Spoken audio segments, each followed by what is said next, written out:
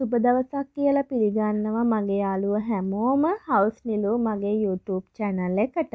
මම අද ඔයාලට කියලා දෙන්න යන්නේ නිලපබුළු ටෙලි නාට්‍යයේ ඉදිරියට වෙන්න පුළුවන් සිදුවීම් කිහිපයක් ගැන. ඇත්තටම කොරෝනා හේතුවෙන් අබිමං ටෙලි නාට්‍යයට ටික කලක් රංගනයෙන් දායක වුණේ නැහැ. ඇත්තටම මේ දිනවල ටෙලි නාට්‍යයේ අබිමන් සහ කුරුලු යන දෙදෙනා ගොඩක් දුරස් වෙලා තමයි ඉන්නේ. ඉතින් කුරුළුගේ මරණය සම්බන්ධව කුරුළුගේ ආදරණීය පෙම්වතා වන අබිමන් කිසිම දිනක පිළිගන්නේ නැහැ කුරුළු මැරුණා කියලා. ඒ මොකද සුභද්‍ර වගේම අබිමනුත් කුරුල්ලට ගොඩක්ම ආදරය කරපු නිසා තවමත් ආදරය කරන නිසා. අබිමන් කුරුළුට ගොඩක් ආදරය කරා. ඉතින් අබිමන් සහ විශාකා එකතු වෙලා කුරුළුගේ මරණය පිළිබඳ දිගටම හොයන්න පටන් ගන්නවා. අබිමන් කුරුළුට අනතුර වුණු ස්ථානයට ළඟදිම යනවා. උදේ ඉඳන් සවස් වනතුරු කුරුළු ගැන තොරතුරක් ලබා ගන්න පුළුවන්ද කියලා වටපිටාවේ මිනිස්සුන්ගෙන් අහලා බලලා හොයන්න පටන් ගන්නවා. ඉතින් රෑ වෙන නිසා අබිමන් හර්ෂගේ හෝටලේ නවාතැන් ගන්නවා. එතකොට දැන් අබිමන් අතර වෙලා ඉන්නේ කුරුළු ජීවත් වෙන පරිසරයේ.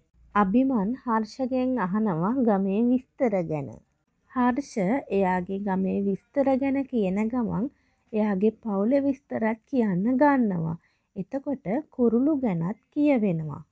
මෙහෙම දෙයක් වෙන්නත් පුළුවන් යාළුවනේ. හර්ෂයි අබිමනුයි දෙන්නා ගමේ ඇවිදින්න යනවා. එතකොට කුරුළු නිර්වාන් නිර්වාන්ගේ නංගි අබිමන්ට මුණ ගැසෙනවා. මේ වෙනකොටත් නිර්වාන් කුරුළුට ආදරය කරන්න පටන් අරගෙන ඉවරයි. හැබැයි කුරුළුගේ හිතේ නිර්වාන් කෙරෙහි එහෙම ආදරයක් ඇති වෙන්නේ නැහැ. නිර්වාන් කුරුළුට ආදරෙන් කතා කරන විදිය, කුරුළු දිහා ආදරෙන් බලාගෙන ඉන්න විදිය අබිමන් දකිනවා. එතනින් පස්සේ අබිමන් කුරුළුව හොයාගෙන ඉවරයි. හැබැයි කතාව එතනින් නතර වෙන්නේ නැහැ.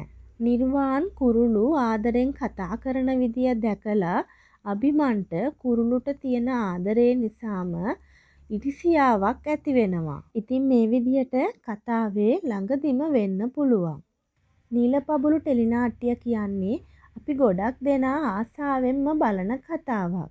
ඉතින් නීලපබුළු කතාවේ අලුත්ම තොරතුරු ඔයාලට දැනගන්න නම් හවුස් නිලු මගේ YouTube channel එක සබ්ස්ක්‍රයිබ් කරලා නැත්නම් දැන්ම සබ්ස්ක්‍රයිබ් කරන්න. එහා තියෙන බෙල් අයිකන් එක ක්ලික් කරොතින් මම වීඩියෝ එකක් අප්ලෝඩ් කරපු ගමන් ඔයාලගේ ෆෝන් එකට නොටිෆිකේෂන් එකක් ලබා ගන්නත් පුළුවන්. බුදු සරණයි මගේ යාළුවෝ හැමෝටම ඊළඟ දවසේ අලුත් වීඩියෝ එකකින් හමු වෙනතුරු ගිහින් එන්නම් ආදරෙයි මගේ යාළුවෝ හැමෝටම